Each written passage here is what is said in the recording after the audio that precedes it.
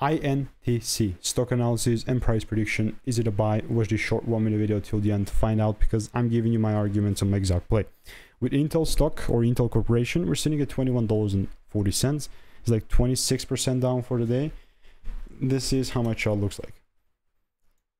Like ideal ideal movements with INTC for me would have been like a simple double break and that would have taken it higher.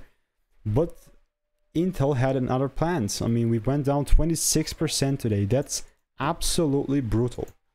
Like my idea, it was so far from what the reality is right now.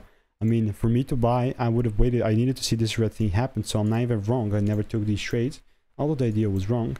But idea is gonna be wrong, you know. That's part of the game. No money lost here though.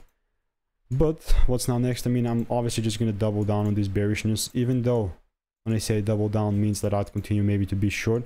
This is a big gap in which after gaps like this, I don't even trade, bro. Like, I don't even trade, like, whatsoever. So, yeah, like, if you want to learn the strategy that I'm using, just check the first link in the description. All reviews are five stars. And if you want to learn it free, just check it out.